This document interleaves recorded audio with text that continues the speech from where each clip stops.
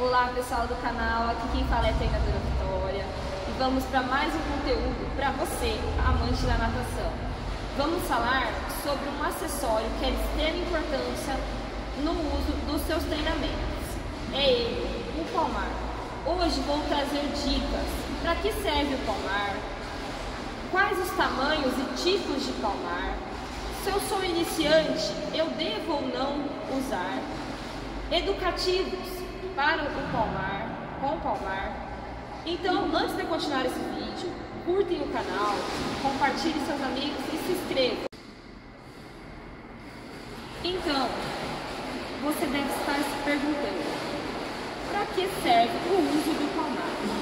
O palmar serve para aumentar a área de contato, ou seja, para você fazer mais força na água. Ele cria uma resistência maior e cria uma força específica na piscina e, consequentemente, você ganha força na sua abraçada. Você deve estar se perguntando quais tipos, quais modelos eu devo usar, quais tipos existem no mercado, qual é o melhor modelo para eu usar. Eu vou demonstrar aqui, vou mostrar para vocês alguns tipos de palmares, tá? Esse é um palmar pequeno, vocês podem ver que ele tem o apoio do dedo e não da mão. Ele vai pegar somente a ponta dos dedos.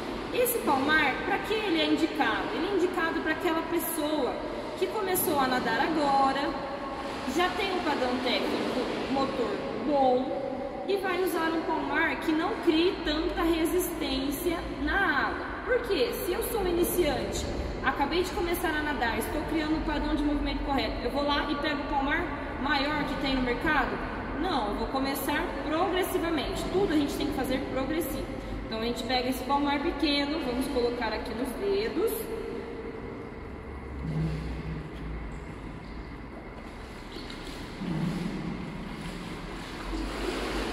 E qual a forma correta de utilizar o palmar? O palmar, ele deve ser colocado bem próximo às falanges. Eu não posso deixar o palmar aqui no início do dedo, senão ele vai ficar andando. Ele deve ter, gerar uma leve pressão também nos dedos. Então essa é a forma correta de você colocar o palmar. Além disso, esse palmar pequeno é indicado para você que é nadador de borboleta, de peito e quer diminuir e manter o padrão técnico,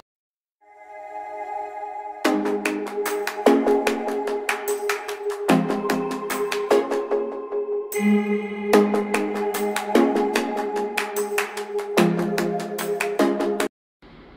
gente tem palmar pequeno, médio e grande.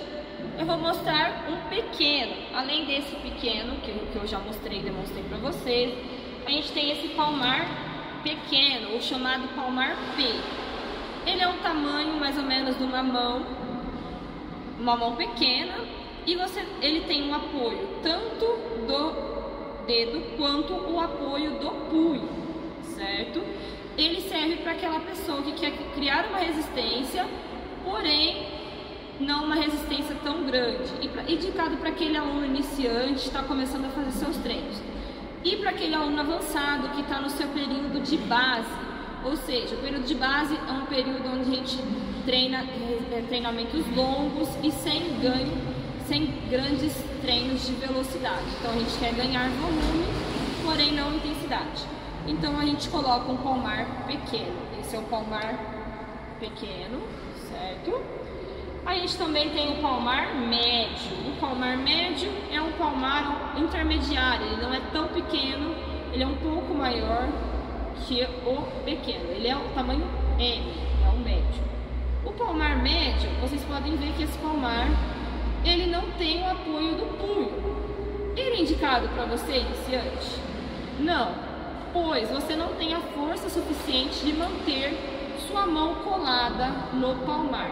Então é aquele aluno que vai nadar e vai ficar soltando a mão do palmar. Então é indicado para aquele aluno intermediário avançado que consegue já manter seu punho firme e fazer força sem perder o contato da mão com o palmar. Pessoal, esse também é um palmar pequeno, tá? Então é aquele tamanho P. O tamanho do palmar depender do tamanho da mão também do aluno. Se eu tenho uma mão pequena, para mim esse palmar vai ser feio. Se eu tenho uma, um palmar, se eu tenho uma mão grande, o palmar para mim vai, então vai depender do tamanho da mão. Se eu tenho uma mão grande, pequena ou média. E aí você compara o palmar que te, tenha no da sua mão. Se ele é um pouco maior ou um pouco menor, vai depender do tamanho da sua mão. Vamos agora ao palmar grande. O palmar grande, como vocês podem ver, ele é maior do que os outros. Ele é o palmar G. Esse palmar tem o apoio tanto do dedo quanto do antebraço. Porém, ele é adaptável. Eu posso tirar e ficar só com o apoio do dedo. Como eu já falei, dito, dito anteriormente, a gente, a gente usa o, o apoio do antebraço para aquele aluno iniciante. Para quem já tem uma percepção legal, o ideal é usar só com o apoio do dedo. Além disso, a gente tem o modelo do palmar 8, vocês já devem ter observado, para quem nunca viu, esse é o palmar 8. Ele tem o, número, o formato do número 8. Ele serve para aquela pessoa que nada com a flexão do punho. O correto é a gente nadar com a mão alinhada com o antebraço. Eu não posso nadar com a flexão do punho. Então ele te obriga a ficar com a mão reta, alinhada com o seu antebraço. Além disso, ele cria uma elevação de cotovelo, porque ele está apoiado no antebraço. Se eu fazer o braço reto, eu não vou conseguir puxar água. Então ele cria essa resistência, fazendo essa flexão de cotovelo. Existem palmares, que eu não tenho aqui para mostrar para vocês, como esse, o palmar 8. E existe um palmar que ele pega tanto a mão quanto o antebraço, reto, alinhado. Qual palmar é melhor? O que tem apoio da mão antebraço ou esse que minha mão vai estar direto em contato com a água? Para ganhar mais sensibilidade, é melhor o palmar 8 dessa forma, porque você tem a mão direta em contato com a água, então você ganha mais sensibilidade. O outro palmar é o palmar que está em contato com a água, então você tem menos sensibilidade. Então esse seria o melhor palmar para quem quer ganhar mais sensibilidade. Se eu estou em dúvida em comprar esse ou outro palmar, o indicado seria esse para aumento de sensibilidade.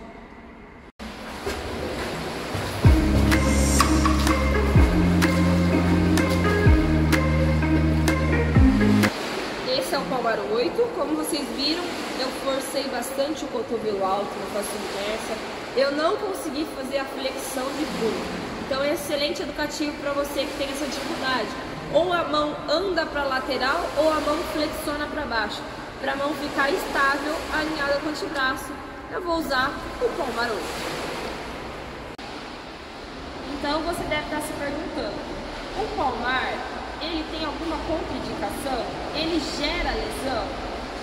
O palmar, ele é indicado para todos os níveis e para todas as pessoas. Porém, se eu tenho uma lesão pré-existente, exemplo, ligamento rompido, frouxidão ligamentar, eu devo tomar alguns cuidados, eu devo colocar o palmar de forma progressiva nos meus treinos.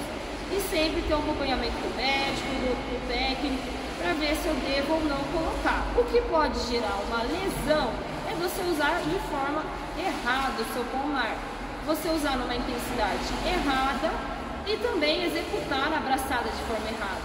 Se eu executo a, palma, a abraçada de forma muito com o cotovelo exageradamente alto e com o palmar muito grande, eu fazendo aquele movimento repeti, repeti, repetitivamente e de forma errada, eu vou gerar uma lesão. Ou se é aquela pessoa que nada em posição e acaba forçando o deltoide anterior. Se eu já nado de forma errada, eu vou colocar uma, uma tensão maior ainda no meu ombro. E isso, de forma repetitiva, pode se tornar uma lesão, não que vá se tornar uma lesão, certo? Agora vamos para a parte dos educativos com palmar. Você deve estar se perguntando, tem como, Vitória, fazer educativo com palmar? Sim, tem como. E eu vou demonstrar aqui para vocês na água como executar um educativo para melhorar a sua técnica e melhorar a sua força dentro da água. Vem comigo. Outra dica importante é quanto ao uso do palmar. Você deve colocar o palmar aqui na altura do seu punho ou abaixo do seu punho E o dedo, ele tem que estar bem próximo às falanges. Eu não posso deixar o dedo no meio ou muito aqui no, no, em cima. Senão eu não vou criar uma força, eu não vou conseguir manter o contato com a mão. Então eu tenho que deixar ele bem próximo aqui das falanges e aqui na altura do punho. Então com a mão fechada, não aberta. Aberta, com certeza é mais fácil, né? Eu vou ter mais apoio para puxar o palmar.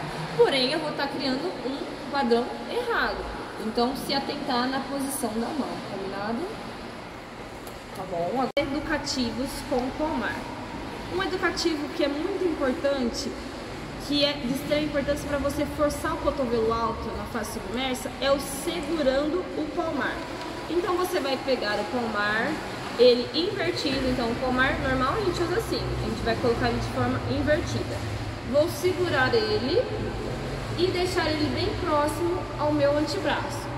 E vou nadar segurando. Vocês vão perceber, se eu nadar com ele reto, ele vai criar uma resistência muito grande. Então eu preciso fazer essa flexão para conseguir manter o palmar. Vamos ao educativo?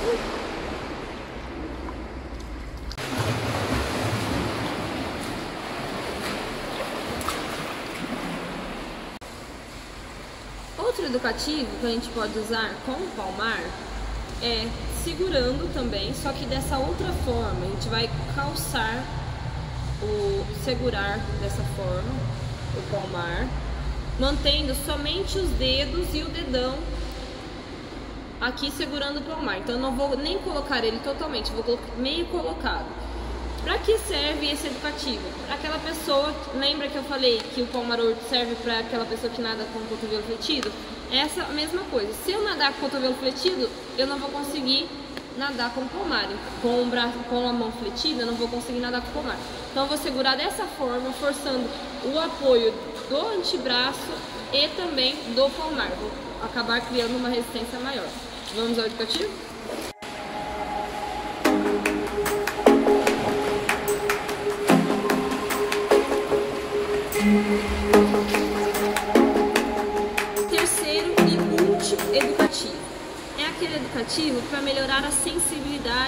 Técnica. Manter o mesmo padrão técnico com o palmar e sem o palmar. Então a gente vai usar o palmar somente em uma mão. Ou seja, palmar somente na mão direita.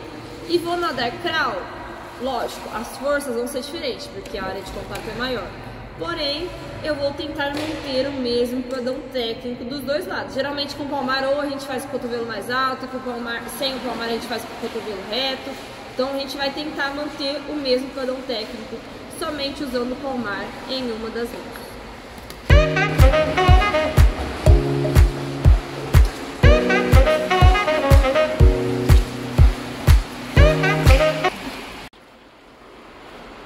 Pessoal, espero que tenham gostado desse vídeo.